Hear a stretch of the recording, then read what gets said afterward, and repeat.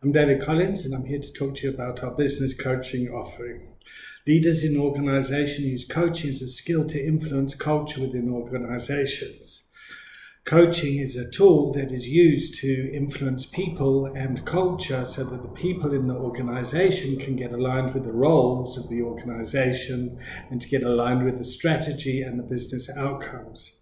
Coaching helps join the the gap between leadership and management, where leadership is responsible for the vision, management is responsible for the people, the process, and the policies, and everyone comes together at strategy.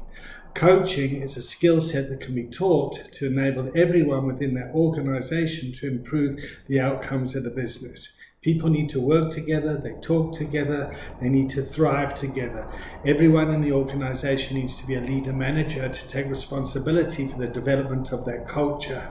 And what we do here with our training is a five day intensive training where we teach leaders and people that work within organizations a skill set to have coaching conversations.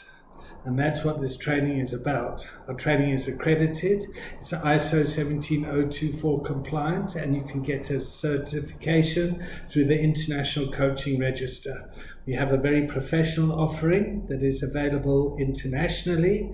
There's online classes, online support, there's live interventions where we come to you, and uh, your return on investment can be measured.